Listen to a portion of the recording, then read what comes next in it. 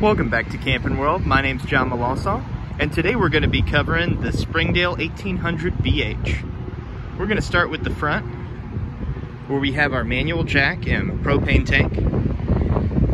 Here around the side, the first thing you'll notice is the spacious underpass storage, goes all the way through the other side. We've got an awning that spans two-thirds of the outside of the unit here. Stepping inside, we see that this unit comes with a screen door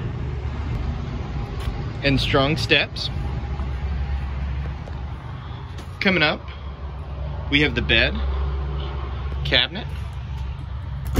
Here we can put our hanging clothes and a shelf along the top, along with a window for natural light above the bed. Down here is the dinette. This can be transformed up to a table or laid in the down position like this. Cushions can be moved together to form a bed with a window and cabinetry above.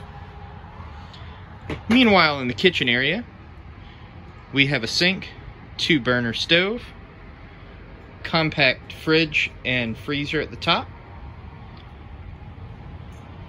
cabinets, microwave, and over here, rare for a unit this small, a pantry. Tucked away, we have the bunk beds. Both mattresses are on the bottom because we just brought the unit in, but the second mattress will go up top.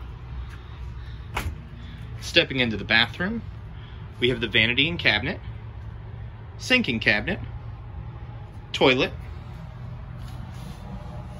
and shower up here at the top, stretching down to the bottom, standard standing shower.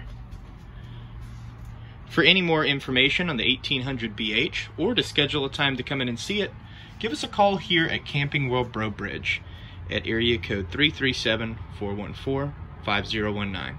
Thanks so much and have a great day.